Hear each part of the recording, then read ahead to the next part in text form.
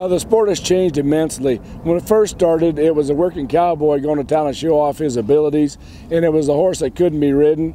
Nowadays, we breed livestock to perform for rodeo.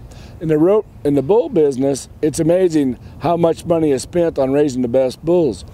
So before, you used to go to a sale and buy a horse that you couldn't ride. Well, now you raise your own horses. The contestants have become more specialized within the arena. It used to be that they'd come to town and work three or four events. Well, now they might work one or maybe two events. And the other part of it, uh, the fan base used to be strictly rancher, uh, agricultural based people. Nowadays, it's everybody. There's something for the young kids, something for the grandparents, and that's what's so unique about it. It's the true live entertainment. Here's what you're going to see. You can't hide it because it's right in front of you.